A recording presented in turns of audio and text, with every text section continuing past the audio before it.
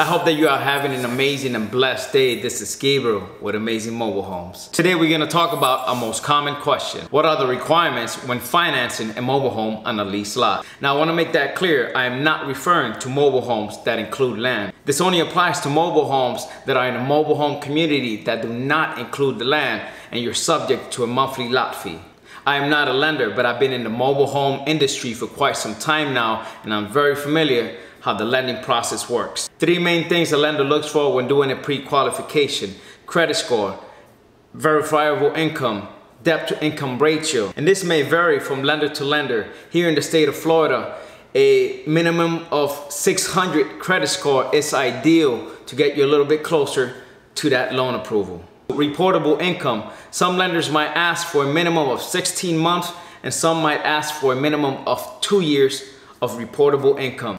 Now, if you have unreported income and you do not pay taxes on that income and have no plans in doing so, chances are the lender cannot use that as verifiable income unless you are exempt from paying taxes for whatever reason. Debt to income ratio. Most lenders will calculate your monthly debt payments and divide that sum by your monthly income. In other words, they want to know what portion of your monthly income goes to debt. Examples of debt student loan, credit cards, car payments. Utilities are not necessarily considered debts.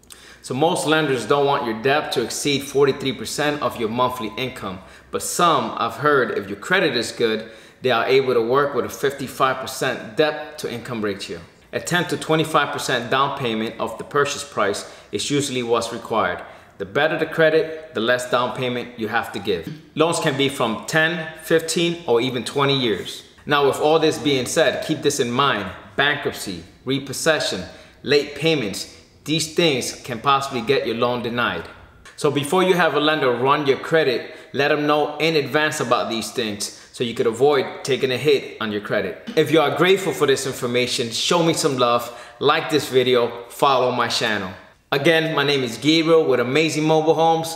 Have an amazing day and remember to visit our website to check out inventory amazingmobilehomes.com.